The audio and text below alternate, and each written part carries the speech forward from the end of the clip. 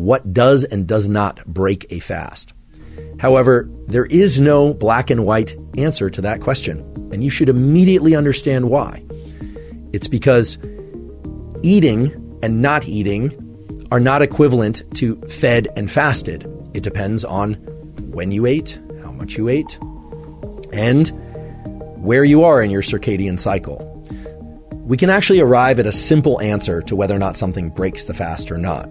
Now, the technical way to go about this would be to wear a continuous glucose monitor and to ingest little bits of food of different kinds or large amounts of food of different kinds and measure blood glucose, because ultimately, blood glucose is the readout of whether or not your system is in a fed or fasted state. There are other parameters too, of course, but that's the dominant one. Insofar as the scientific literature says, drinking water will not break your fast. Drinking tea will not break your fast. Drinking coffee, provided it is black coffee, will not break your fast.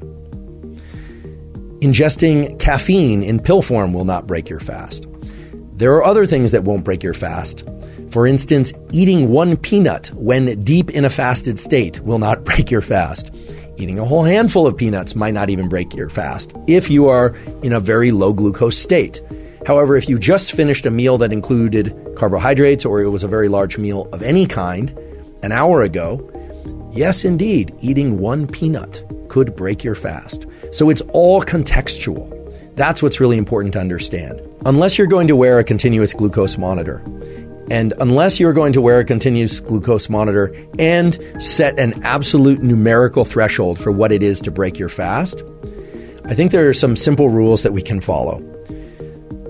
First of all, anything that involves sugar, in particular simple sugars, can potentially break your fast. And there's actually a study on this which shows that if people ingest even one, one gram of sugar post dinner, if they had a full meal for dinner, that can actually disrupt the expression of some of the circadian genes related to fasting and to sleep and sleep related fasting. Now, that's pretty extreme. It's almost kind of scary to think about. But that's how sensitive our system is if we already have somewhat elevated blood glucose from a meal that we ate an hour or so ago. Whereas if we have run for an hour or trained hard, high intensity training, and we haven't quite reached the beginning of our so called feeding window, will eating a small amount of food take us out of that fast? Well, depends on what the food is. If it's mostly fat, probably not. A number of people out there nowadays talk about so called fat fasting. Fat fasting is a way to kind of wriggle past the stringency of either eating or not eating as a black and white rule for feeding window versus non feeding window. So some people will ingest medium chain triglycerides, so called MCTs, or people will ingest fats only until their official feeding window begins. So these are sort of how the negotiations that people carry out tend to go. But fat, of course, won't increase blood glucose and insulin as much as carbohydrates will. Protein will have sort of inter- an intermediate effect. And as I mentioned earlier, ingesting carbohydrates with some fat will tend to blunt the rise in glucose and will extend the duration over which glucose is released. So we really can't say food X or beverage X breaks a fast.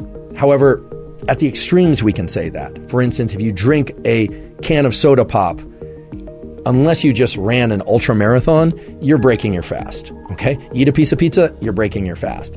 If you eat purely fats, maybe, probably not, if you've been fasting for five hours or more strictly fasting for five hours or more. So you can start to see where there's a, a, lot of wiggle room and it's very contextual. And this is why any post that you see or any information that you see that something does or does not break your fast that doesn't place it in the context of when the last time you ate and what you ate and your activity and your time within the circadian clock schedule of 24 hours it's a sort of meaningless discussion. So, in general, I think what's really useful, if you're not going to wear a continuous glucose monitor, is to try and be fairly strict about when you initiate your feeding window and when you stop your feeding window.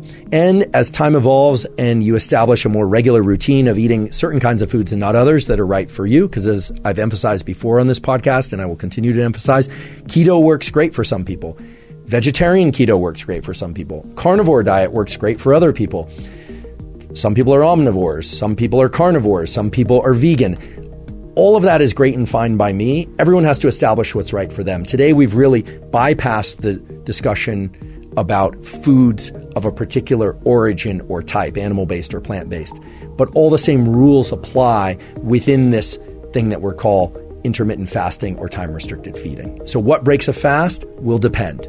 And what you want to eat or what you are willing to eat, that's a totally separate manner from when you eat. But as we've established, when you eat is vitally important.